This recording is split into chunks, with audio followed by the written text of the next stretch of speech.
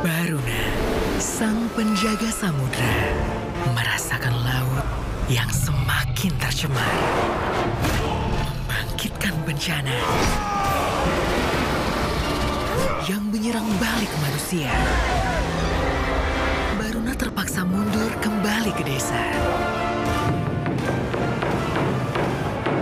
Marjan, kembalikan semangat saat.